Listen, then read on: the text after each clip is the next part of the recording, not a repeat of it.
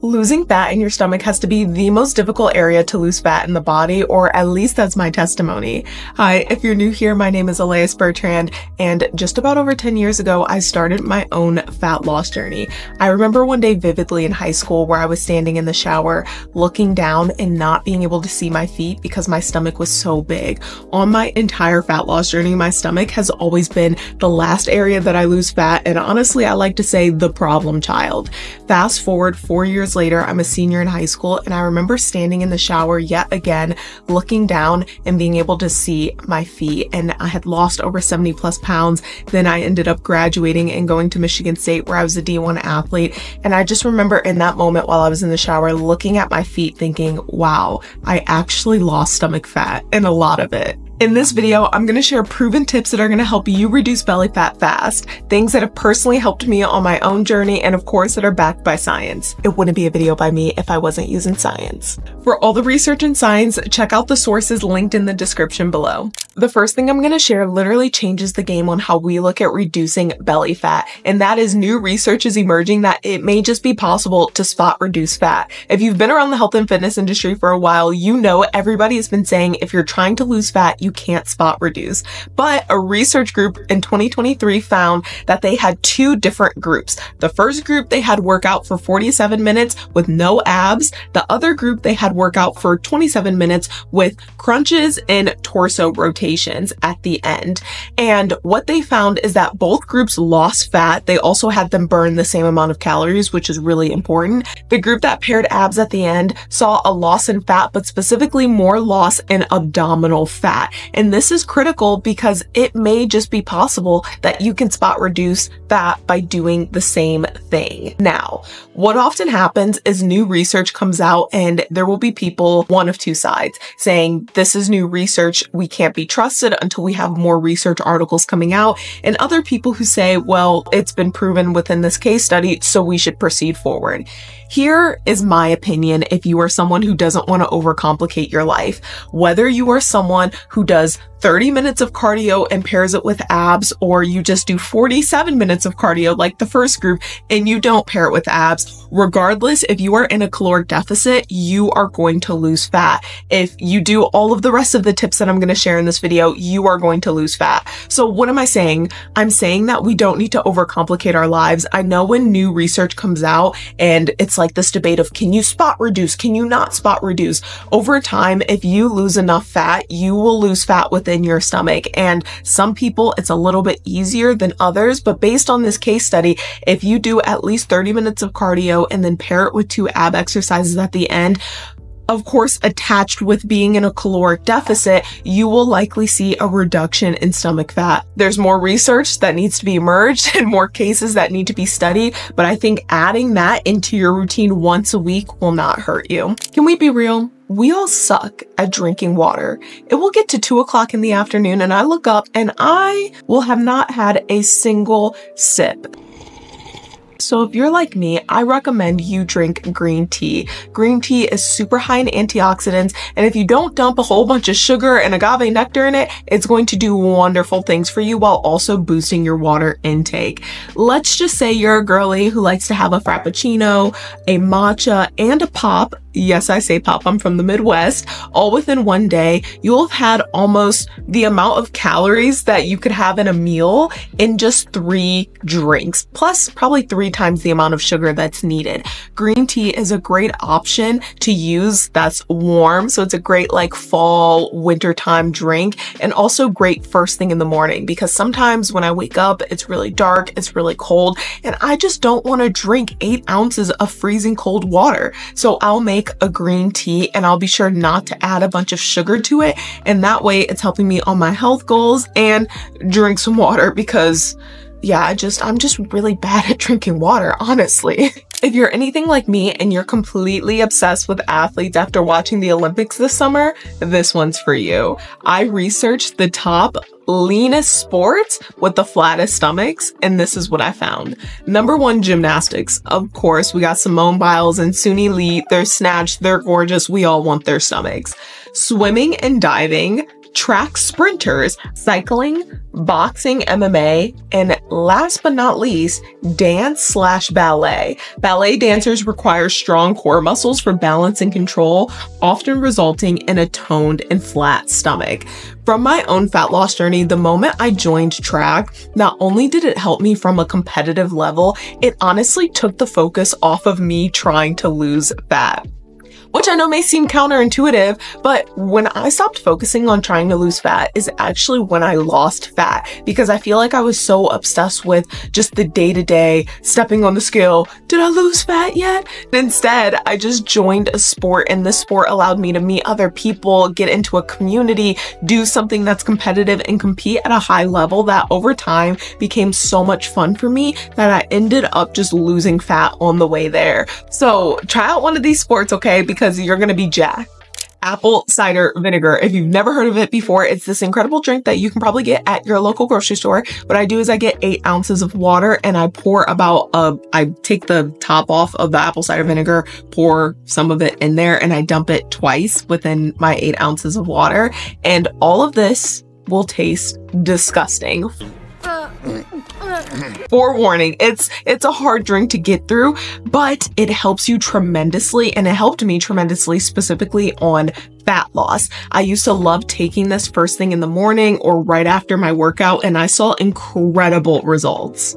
Start with a salad. When you go to decide what you're going to eat, whether it's for lunch or for dinner, always try to add in a salad within your meal because then you're just going to be getting all of these fibrous greens that are going to help you feel full before you start to eat all of the other things. And if you're someone who you really struggle with food, this could be a great tip to think about on what foods you should add versus what you should always subtract. I think a lot of times when we think about losing fat, the first thing we think about is I have to take this out. I have to take this out. I have to take this food group out. And it leaves you feeling really restricted and like tight. But when you start thinking about, oh my God, what can I add? And it's like, oh, add a salad to your meal, add apple cider vinegar to your meal, add water to your meal. And you start thinking about all of the things that you should add versus all of the things you should restrict and limit. It allows you to have more of an abundance mindset with your fat loss journey, which tremendously helped me. Bear with me on this one, but stand while you eat. I don't know if anybody's like me, but when I'm sitting down, I can't tell always how full I am. And I know I will walk away from like a Texas roadhouse after eating about six of those biscuits. And I stand up and I'm like, oh my God, I'm so full. Why didn't I realize this when I was sitting? It's because when you actually stand up and you can feel the weight of that food actually sink in, it helps you. And something else is to chew your food slowly. So it takes your body about seven minutes to tell when you're full. Did you hear me? Seven minutes. You know how many cookies I could eat in seven minutes if I really wanted to? And so if you stand up, if you chew really slowly, all of this allows your body to have more time to digest the food and also register whether you're still hungry or if you're full. My mom is one of the most incredible women I've ever had the honor of knowing. She is my best friend. She's my mentor and I truly hope I can live a life as impactful as her. But her life hasn't always been easy. When she was about 25 years old, her dad passed away in a boating accident and this caused her to be really angry, really hurt, and ultimately she ran to drugs. She became addicted, she dropped out of school, and over time she ended up getting help and seeking counseling. And while she was seeking counseling, she ended up meeting my dad and they both were able to go to recovery together. And now my mom has an organization based out of Cleveland where she helps people with substance abuse disorders. And I share this incredible story because not only am I proud to call this woman my mom, but because she's taught me the importance and power of behavioral techniques. Behavioral techniques are methods that a lot of social workers, psychologists use to change the actions, attitudes, and behavior of someone so that whatever action you're trying to change, it'll make it long lasting. And I think when it comes to our fitness journey, sometimes we opt for the things that are quick and easy and we forget to think about the things that may be small now, but make such a big difference in the future. And one of those things is, for instance, when you go to the grocery grocery store or you park to get your nails done to maybe park a little bit farther away, like at the end of the back of the parking lot, so that then you have to walk a little bit further to get into the store. This is something that if you think about over the lifespan of you doing this every time you go to the store, it will add up. Just as, for instance, my best friend freshman year, she went to Ohio State and she lived on the 18th floor. She made it a mission that at least once a day, if she went back up to her apartment, she would take the stairs. That's a commitment. That's a behavioral technique more than I've ever seen. But even though these are small examples, I'm sure there's one or two things that you could do in your life that allows you to stand more, to not live as much of a sedentary life, to potentially get more movement in in smaller areas that can drive incremental change in the future. Sometimes we look at the big things and we be- we believe that the big habits like picking up exercise 5 times a week is going to go so far. But if you're able to make just one or two slight habit changes like parking a little bit farther in the parking lot or getting a standing desk or taking the stairs every now and then, it will make a tremendous difference in reducing your fat. Nutrition scientist and educator Alan Aragon developed the perfect way for you to go grocery shopping. So what I want you to do is get out your phone a piece of paper, a pen, and write out this list on the spot. So what he has you do is select 20 of your favorite food items. And within this list of 20, there's going to be six different categories of food. Your protein, your fibrous vegetables, your starches, your milk, your fruit, and your fats. Within all of these foods, I want you to select three of your favorites. So for instance, for protein, you could say, I want to select salmon, ground turkey, and grass-fed ground beef. That's going to be all the protein that you select the next time you go grocery shopping. And you do that same exact process for the other five categories of food. Once you map that out, you'll notice you have 18 things listed. And we said at the beginning that this was going to be a list of 20. Those other two food items are going to be your fun foods. Maybe it's a bottle of wine or some cookies. And this is showing you exactly how you should be baking out your ingredients or your food list every time you go grocery shopping so that most of your foods are going to be coming from protein, fibrous carbohydrates that are going to give you energy and life throughout the week, but you still have your fun foods that are going to help keep you balanced.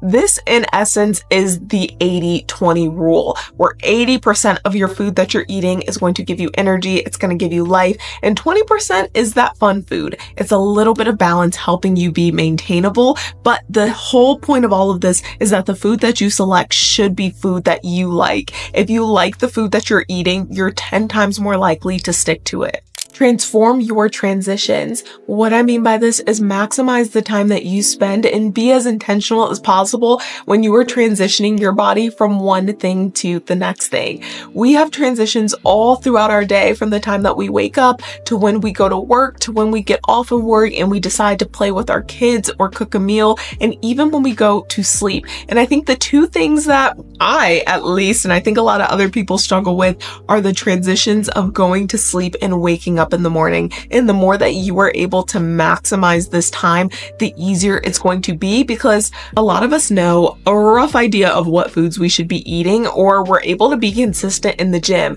But the thing that will get us is sleep and stress. And sleep is the ultimate restorer. I know there are so many dopamine addicting things out there like watching TV at night or drinking energy drinks or even coffee boost your dopamine out of this world. But Sleep is the only thing that's going to truly restore your energy in your body. And there are numerous research studies showing that poor sleep and not getting enough sleep is linked with weight gain.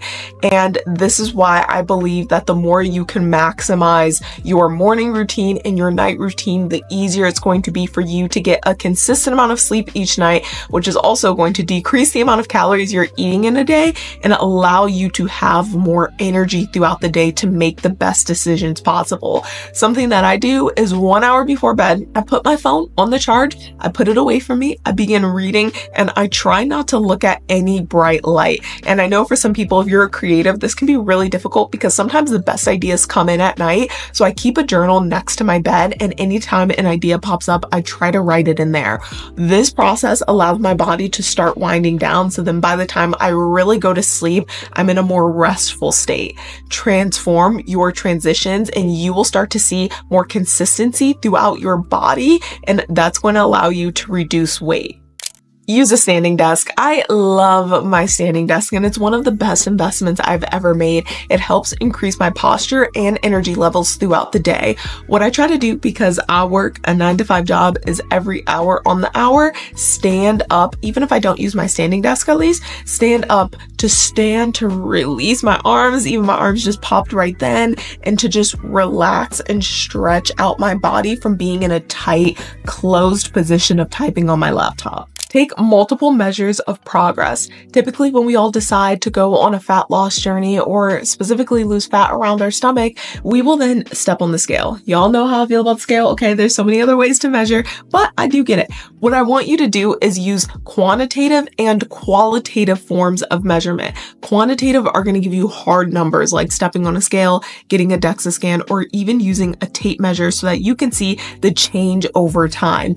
Qualitative is going to allow you to know how your energy levels are, how you're feeling. So when you're going in for your workout that day, track down how you're feeling during that workout. Is your body fatigued? Are you really sore? Did you get enough sleep last night? And you can even do this with your energy levels just in a given week or in one day specifically. Another qualitative form of measurement is how your clothes fit on your body. If you have a pair of jeans that you love, put on those pair of jeans and just notice how you're feeling within it. Does it feel really tight around your thighs? Is it a little bit looser in the stomach area? And just take note of that over time. And the reason why I think this is so important is because typically when you're losing fat, you become so fixated on a number or on ensuring that every single day when you look in the mirror, there's a difference. But typically to have a real change, it takes at least six to 12 weeks to see noticeable differences. And so while you're on this journey, you want to ensure that not only are you checking in with the numbers on the scale, but you're checking in with how your body is feeling and doing. All in all, for you to lose stomach fat, it's going to take you being consistent and being patient, which I know is one of the most difficult things to do. But if you think about it, your stomach fat didn't get there overnight. And so therefore it's not going to all fall off overnight takes time. We have to adjust what we're doing and notice our specific lifestyles. Are we really busy at the moment? Did we just have a baby? Is work slowing down right now? So now I have a little bit more wiggle room.